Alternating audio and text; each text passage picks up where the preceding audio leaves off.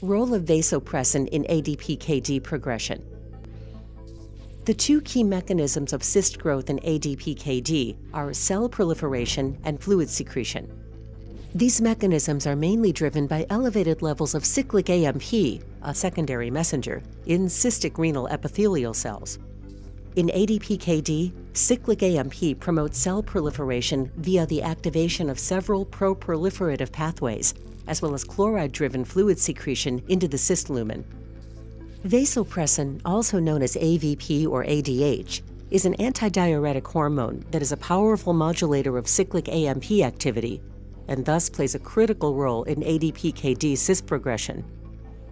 Physiologically, vasopressin promotes water reabsorption via aquaporin channels in the collecting ducts of the kidney. However, vasopressin plays a different role in cyst-lining epithelial cells, promoting cyst growth.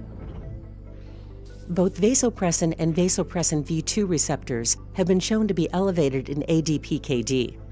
Vasopressin binds to vasopressin V2 receptors in renal tubular epithelial cells, resulting in elevated cyclic AMP levels within the cells, and the activation of cell proliferation and fluid secretion.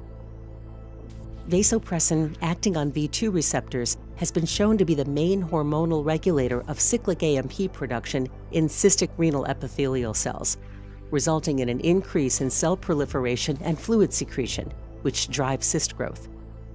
Over time, the progressive growth of these cysts contributes to an increase in total kidney volume, accompanied by destruction of kidney tissue and progression to end-stage renal disease.